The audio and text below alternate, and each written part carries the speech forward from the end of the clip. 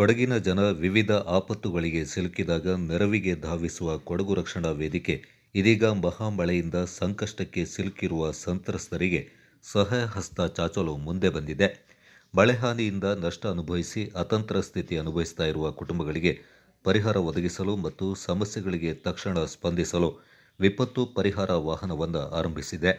ಈ ವಾಹನದ ಕಾರ್ಯಚಟುವಟಿಕೆಗೆ ಶಿಕ್ಷಣ ಹಾಗೂ ಜಿಲ್ಲಾ ಉಸ್ತುವಾರಿ ಸಚಿವರಾದ ಬಿಸಿ ನಾಗೇಶ್ ಚಾಲನೆ ನೀಡಿದರು. ನಗರದ ಸುದರ್ಶನ ಅತಿಥಿ ಗೃಹದ ಎದುರು ಕೊಡಗು ರಕ್ಷಣಾ ವೇದಿಕೆ ಕಾರ್ಯಕ್ರಮ ಉದ್ಘಾಟಿಸಿದ ಸಚಿವರು, ಸಂದಿಗ್ಧ ಕಾಲದಲ್ಲಿ ಸಂಘ ಸಂಸ್ಥೆಗಳು ನೊಂದವರ ನೆರವಿಗೆ ಬರ್ತಾ ಇರುವುದು ಶ್ಲಾಘನೀಯವೆಂದರು.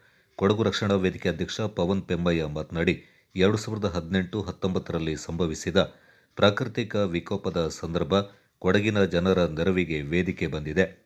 ಎರಡು ಸಾವಿರದ ಇಪ್ಪತ್ತರಲ್ಲಿ ಕೋವಿಡ್ನಿಂದ ನೊಂದ ಕುಟುಂಬಗಳಿಗೆ ಸಹಾಯ ಹಸ್ತ ಚಾಚಿದ್ದೇವೆ. ಎರಡು ಸಾವಿರದ ಇಪ್ಪತ್ತೊಂದರಲ್ಲಿ ಮಡಿಕೇರಿಯ ಕೋವಿಡ್ ಆಸ್ಪತ್ರೆ ಮುಂಭಾಗ ನಿರಂತರ ಒಂದು ತಿಂಗಳ ಕಾಲ ಹಗಲು ಇರುಳು ಎಂದದೆ ಹದಿಮೂರು ಸಾವಿರಕ್ಕೂ ಹೆಚ್ಚು ಜನರ ಹಸಿವನ್ನು ತಣಿಸಿದ್ದೇವೆ ಎಂದರು.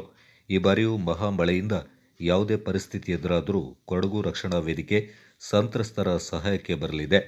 ನೆರವಿಗಾಗಿ ಒಂಬತ್ತು ಸೊನ್ನೆ ನಾಲ್ಕು ಒಂಬತ್ತು ಸೊನ್ನೆ ಐದು ಸೊನ್ನೆ ಒಂಬತ್ತು ಸೊನ್ನೆ ಐದನ್ನು ಸಂಪರ್ಕಿಸಬಹುದೆಂದರು.